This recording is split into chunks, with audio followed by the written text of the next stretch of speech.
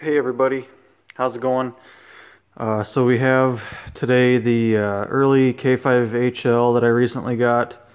Um, we're going to see how she sounds. Um, I did do a uh, quick checkup on all the bells. Haven't done any cleaning or anything. I just opened up the back caps and uh, took a look at a few things before testing it. Uh, so this will be the first test and um, we'll uh, get you guys set in a good spot and we'll uh, give her a honk and see how she sounds and then I'll kind of talk about uh, some of the things that I found when I opened her up so. Bear with me a minute guys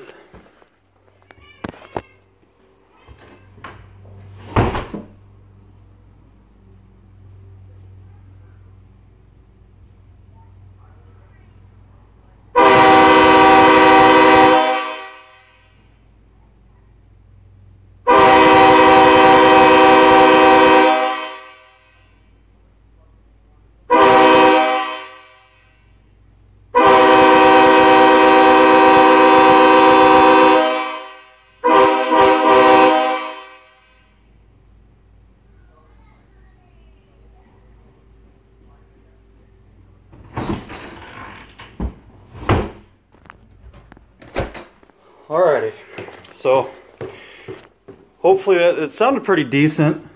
Um, I'll have to listen back to the video and uh, see exactly what's going on sound-wise because I can't really hear too much with these things on, but sounded pretty good uh, from where I was standing. So uh, let's talk about what was going on um, when I opened it up. So you guys see I have my other early BNSF K5HL out. Um, there's a reason for that.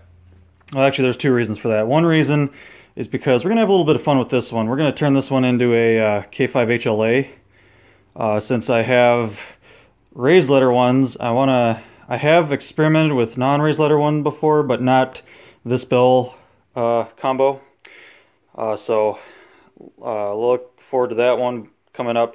But the reason I had this open was because I had to look at the nozzles on this one and compare them to the other one. Um, and that'll come in a second part of this video. This is this video is the kickoff of all the videos for that other uh, early K5HL that's back in the garage that you heard. So it's going to be a multi-video thing. Um, next video I will have everything opened up and we will be taking an in-depth look at that. Uh, but you're probably wondering why did I need to compare the nozzles? Well, that one has a lot, and I mean a lot of nozzle wear. Um, especially the three. Um, that's why this particular bell is really being looked at because I wanted to compare this nozzle to the other one. And um, that other one is significantly wore down uh, compared to this one, which is actually still in really good shape. Um, and I think uh, part of the reason why that is is because uh, that bell had a broken diaphragm, and it was not a front diaphragm, it was a back diaphragm. Thank God. Uh, it's a uh, could be a real nozzle killer if you have a front diaphragm that's broken. I've I've seen a couple nozzles that were really bit into from broken diaphragms, but anyway. So this is the diaphragm, the rear diaphragm out of the number three bell. I knew the number three had a broken diaphragm. I could hear these parts rattling around in there. And you guys can see that uh, she kind of broke into a couple different little shards there. And from what I could tell, she's been broke like this for quite a while. That's definitely the biggest piece. And then, of course, the uh, large amount of cracks and fractures. Uh, this whole this whole disc really got pretty bad over the years. And I think it had an initial break and then a secondary break and then um, it just kept getting worse and worse with time. Um, something else I noticed is the uh, original cushion ring. You guys can see the cushion ring really should not be looking like that. You know, it might be a little dirty, but it really shouldn't be looking like that. And uh, interesting thing was that those shards, once they were loose, they started to, you know, of course they were just kicking around and they're all free, and they started to uh, work their way in between the front diaphragm and the cushion ring. And they started to uh, vibrate and eat away at the cushion ring. And um, my guess of why the number three nozzle is so wore down is because these shards were putting uh, extra pressure on the front diaphragm once they got in between here. And then, I mean, you guys can see eventually they would just start to eat away at the uh, the thing itself. And um, so, so yeah, that's probably what was going on there. But that's just I've I've had I've dealt with quite a few broken diaphragms in the past, but none that actually started to attack the uh, cushion ring like this. So that's pretty crazy. Um, it did. Uh, it even started to eat away at the um, the back cap, um, and I'll show you that, guys, in the next video when we have it all apart. Um, especially the uh, piece that is still connected here. Uh, there's a defined line of wear on the back cap. It's not nothing too crazy, it's nothing I'm worried about by any means necessary, but there is definitely a, a little line area where you could see where the uh, diaphragm was vibrating up against it. Um, so yeah, clearly before I tested it, I took this out, uh, took the old cushion ring out, I put uh, the exact same thickness cushion ring in, and I had a uh, I have a lot of war diaphragms that are in good condition, just a little bit of wear on them. And so I found a, uh, a nice back diaphragm that's about the normal wear that this one should have been. But you can see she's a whole different whole different beast. There you go. This side you, you can really see just how bad this one got. Pretty bad. That's that's probably one of the more damaged ones that I've dealt with. So, so yeah, guys, uh, that's why I kind of really had to start taking this one apart and just see how bad the nozzles were. The one bell as well on that other one has uh, some wear on it. Um, you guys can see how you have that uh, kind of an angled cut right on the right where the bore meets the nozzle there.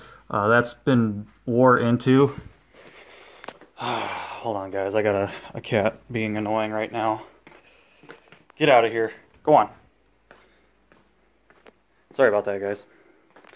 So, anyway, and then uh, on the three, it's really noticeable because uh, this is probably uh, whatever the uh, height of this is is probably about half on that other one. so uh, it didn't sound terrible. It still works.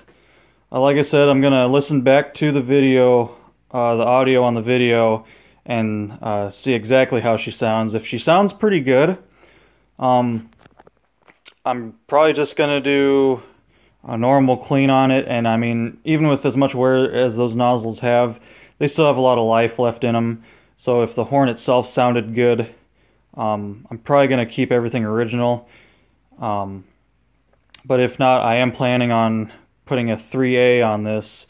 So this 3 will probably be the donor to replace the uh, really War 3. If I go that route, we'll see. Um, I'm not too worried about swapping parts on these horns because they're not like super historical like like my like the CSX square tag and the uh, 947 and then my 80s K5 LLA there, or LA, sorry. So, you know, these horns are cool. There is some type of a historical value to them, but uh, at the end of the day, it's a K5HL.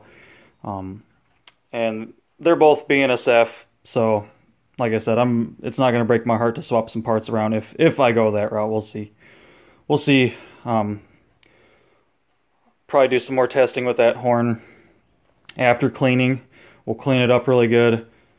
And um, like I said, guys, we'll just do like a multi multi-part video, maybe like three, four parts. And uh, we'll really get into the uh, meat and potatoes on that on that horn out here. Um, but she sounded pretty good. Uh, I know some of the cushion rings are kind of getting thin.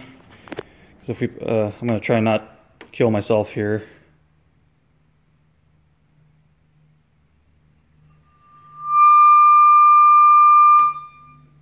Think that might be the two bell.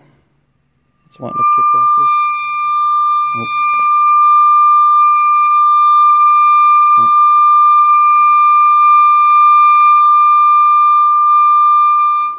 Oh. Okay, sorry if that was an ear killer, guys. So it's not too bad. I've had I've had horns leak a lot worse.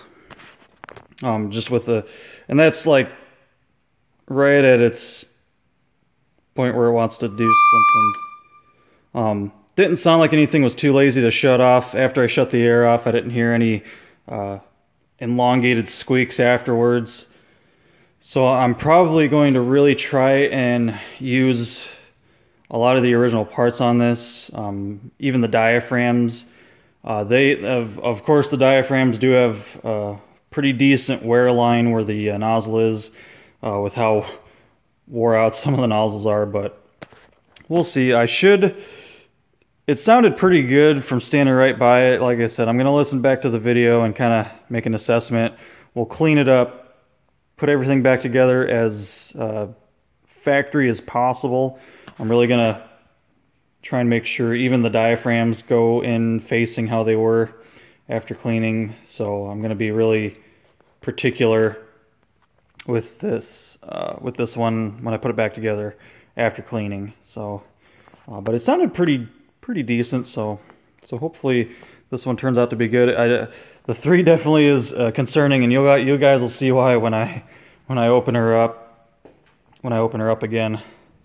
Um, other than that, there's nothing really too really too special about the horn. Um, after I looked at the three, the three was the first bell I opened up on this one, and after looking at how much wear was on there, it really got me nervous for the rest of the horn. So of course I went through every bell, just opened it up, looked at it, really didn't mess with anything. Um, the uh, nozzle on the two-piece 1L is probably in the best condition out of all the nozzles. Um, the four is still in pretty good shape. The two, the two is in really good shape still. Um, but the the three has significant wear on it. The one is uh, starting to show signs of uh, pretty decent wear. So um, she's still kind of dirty. Uh, haven't, like I said, I haven't done any cleaning on it. The only thing I did was I put a new cushion ring and a new back diaphragm in this, just because um, like a lot of times I know some people get a, a horn and they'll just test it before cleaning it or they they might not even open it up and they'll just honk it but if there's an issue like that that can get a lot worse and start destroying a lot more stuff especially if it's a front diaphragm that's broken you're really going to start to destroy your nozzle and the horn's not going to sound very good anyway um, so that's why it's it it's kind of a good thing to open up your horns every now and then. I know some some people are completely against opening up the horns and uh, messing with anything, but I mean, I'm not really into resale, so my uh, I'm not worried about the ruining anything historical on it. Like at the end of the day, even after I clean it up and clean the diaphragms and everything and put a horn back together, it's still a really legit piece. Um, and it's a piece that I know that's going to survive for a long time because either I've um, put I don't really have new diaphragms. I just have a bunch of used diaphragms, and some of them are in really good condition, like almost new condition. Some of them are less than that, and some of them are less than that. So I don't really ever put new diaphragms in these. I just kind of reuse old ones, and um, depending on what the horn is or what it sounds best with, I've had some horns sound better with a more used diaphragm than a slightly used diaphragm. So I just like to know everything is good in my horns. Like I, every horn I ever get gets opened up, cleaned, um, any issues taken care of immediately. Uh, just because I want to know that these things are not only going to sound good, they're going to perform good, and that there's nothing destructive happening within the power chambers.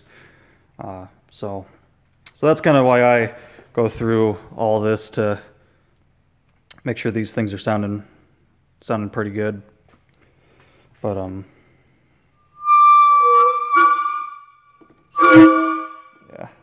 little squeaky, not too bad. Like I said, I don't think you guys could even hear that when I was just doing a full blast to close. Um, and I don't really quill horns like this anyway. Uh, you don't ever really hear these horns quilled out in the you know, out on the main line. It's just a solenoid that kicks on and then the air starts rushing through. So older horns I quill, newer horns like this I don't quill, so I don't really worry if they're squeaking like that on a like a really, really light, light open. So, but like I said, I think she sounded pretty decent. I won't talk too much here. I already talked a lot, so. So yeah, guys, be looking forward to more updates coming on this one. Probably none till after um, my wedding is next weekend. So uh, this coming week, I am going to be pretty busy. So this is kind of my last weekend to have a little, little fun with the horns for about a week or so. So figured I'd at least get the kickoff video on this going, and then um, I'll probably try and do a sound clip of the other one. Once I get the 3A put on it, we'll see how that sounds. So, so yeah, guys, hope you enjoyed the video. Like I said, uh, coming up in a couple weeks, be looking forward to some more updates on this. Um, I don't know if I'll do any more with this horn this weekend. Might do the opened up video, might not, just depends on what I feel like doing, what I have time for, because I got to get things around the house ready. So, so yeah, everybody, uh, take care. Till next time.